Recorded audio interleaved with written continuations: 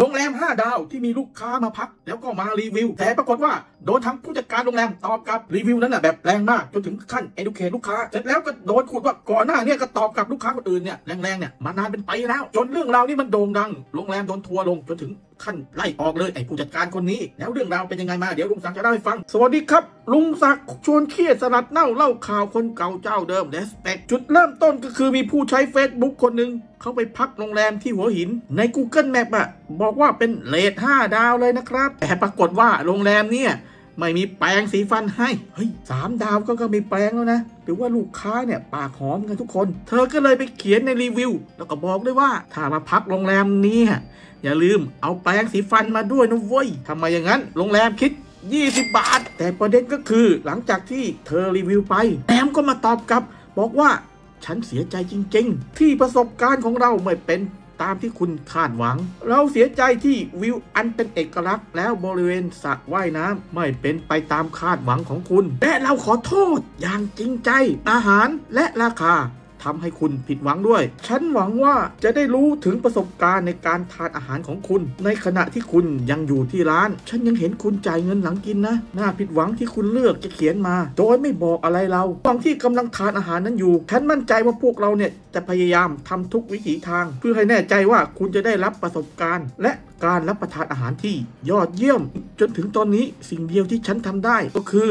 ขอโทษคุณที่ไม่ได้บอกใครเรื่องประสบการณ์ในการทานอาหาร และตอนนี้ ฉันจะบอกให้คุณได้รู้สักเล็กน้อย เกี่ยวกับกรีโฮเทลซึ่งตรงนี้เขาใช้คำว่า educate do a little bit เลยนะ เราใส่ใจในสิ่งแวดล้อม อันนี้คือสาเหตุที่เราไม่ใช้อุปกรณ์ในช่องปาก วางให้คุณฟรีๆ มีงานหมุนเวียนมากอยู่ในช่วงวันหยุดสุดสัปดาห์ แล้วก็มีอุปกรณ์ช่องปากเหล่านี้จำนวนมาก แล้วใช้ครั้งเดียวก็ทิ้งไป เราต้องการมีส่วนสนับสนุนความยั่งยืน และส่งเสริมให้แขกของเราช่วยรักษาสิ่งแวดล้อม ขณะที่พวกเขายังสามารถเพลิดเพลินกับธรรมชาติของรีสอร์ทได้ เราหวังว่าเราจะได้มีโอกาสต้อนรับคุณในอนาคตขอบคุณที่แบ่งปันความคิดเห็นอ้าว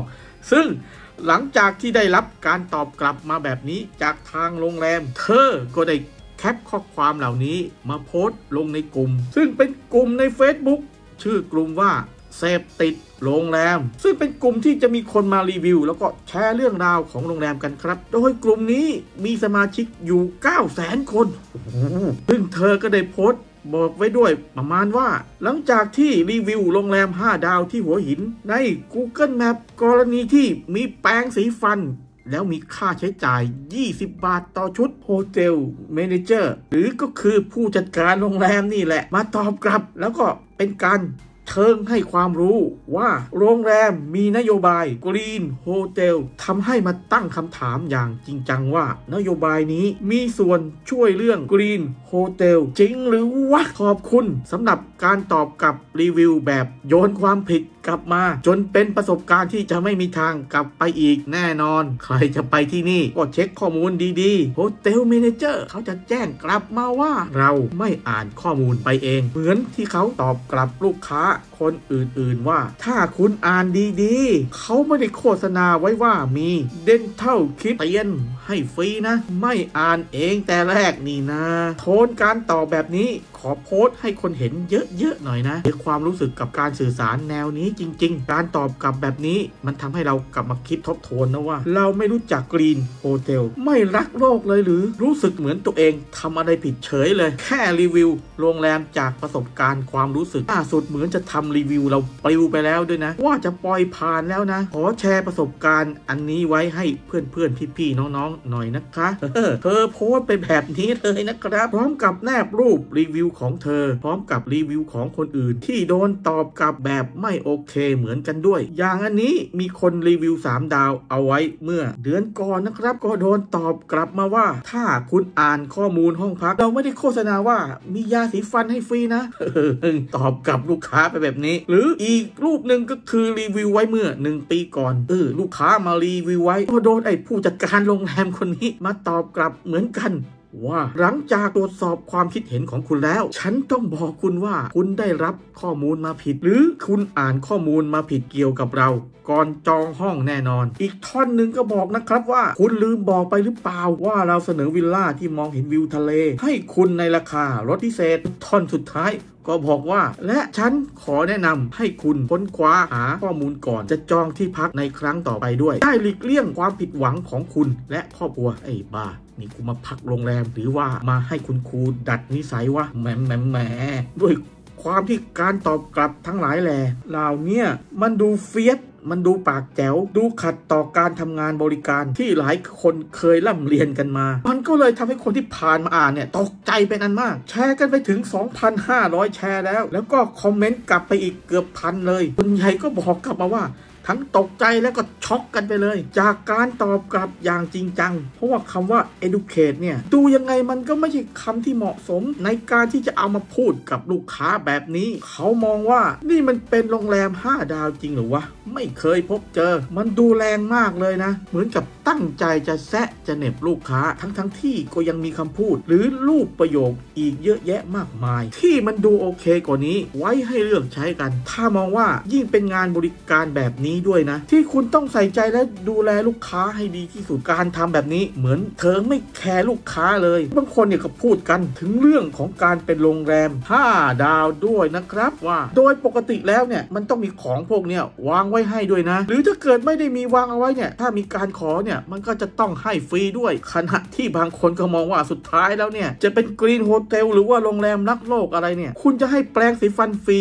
หรือจะคิดเงินอะไรก็ตามแต่ คือพวกนั้นมันไม่ใช่เรื่องใหญ่ เท่ากับเรื่องที่คุณตอบกับลูกค้าแบบนี้หรอกเพราะปัญหามันคือทัศนคติตรงนี้นี่แหละ โดยหลายคนก็สงสัยกันด้วยนะครับ ว่าคนคนนี้มาเป็นผู้จัดการได้ยังไงวะทำไมไม่มีความเป็นมืออาชีพเลย เหมือนแยกไม่ออกด้วยซ้ำว่าอันไหนลูกค้าคอมเพลนอันไหนลูกค้าแค่รีวิวตามจริงทั้งก็ยังมีการตามไปขุดกันด้วยนะครับว่าผู้จัดการคนนี้เป็นใคร แต่สุดท้ายพวกก็ไปลงกันที่โรงแรมกันแบบยับยับๆเลยครับ ตามไปกดโกรธกดขำหรือว่าคอมเมนต์ถึงเรื่องนี้กันใหญ่ บอกว่าไม่กล้าไปพักแล้วนะ กลัวจะโดน educate นู่นนี่นั่นกันวุ่นวาย พร้อมกับหลายคนเข้าไปให้รีวิว ดาวเดียวนี่เลยครับ ทั้งในเพจ แล้วก็ใน Google กันเพียบเลย จนในที่สุดหลังจากที่เกิดประเด็นกันไปใหญ่ดำเนินเรื่องไปเกือบหนึ่งวัน ทางโรงแรมก็ได้โพสต์ชี้แจงบอกว่า ทางโรงแรมนี้ขอแสดงความเสียใจอย่างสุดซึ้งกับเหตุการณ์ที่เกิดขึ้น แล้วก็ขออภัยอย่างสูงสำหรับการกระทำของผู้จัดการ ทางเราได้ดำเนินการ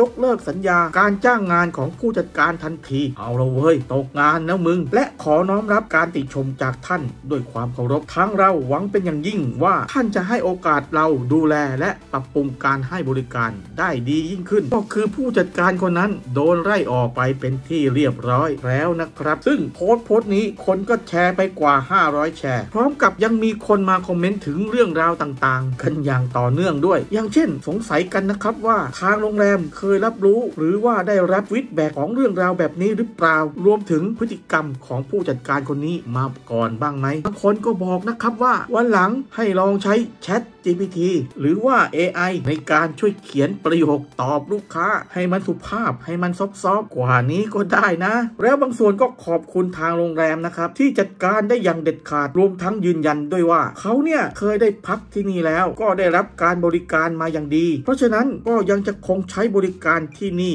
เหมือนเดิมอย่างแน่นอน ซึ่งก็ยังมีหลายคนที่พูดกันถึงเรื่องที่เกิดขึ้น อยู่เลยนะครับว่าการที่ทางโรงแรมนี้ต้องมาเสียชื่อเสียง เพียงเพราะการตอบกลับแบบนี้ หรือเพราะว่าจากปัญหาเรื่องของการเก็บเงินค่ายาสีฟัน 20 บาทอะไรเนี่ยนะ มันไม่ได้คุ้มค่ากันเลยจริงๆโทยเนี่ยก็คือเรื่องราวทั้งหมดทั้งมวลนะครับ ของเรื่องราวที่เกิดขึ้น แล้วคนก็ให้ความสนใจกันเป็นอย่างมาก ในช่วงที่ผ่านมานะครับ แล้วก็แชร์กันไปเยอะมากจริง ๆ เพื่อนๆทุกคนเนี่ยฟังมาถึงตรงนี้แล้วอะมีความคิดเห็นยังไงกันบ้าง แล้วแต่ละคนเนี่ยมีประสบการณ์ประทับใจหรือว่าหมดอารมณ์กับเรื่องราวของโรงแรม แบบนี้ก็เอามาเล่าให้ฟังกันได้นะครับ แล้วถ้าชอบเรื่องราวแบบนี้กดไลค์กดแชร์กด subscribe ฮอยดังสตูดิโอแล้วมาชมไลฟ์สดกันทุกวันจันทร์ถึงวันเสาร์ตอนกลางวัน 11โมงครึ่งตอนเย็น5โมงครึ่งนะครับ right now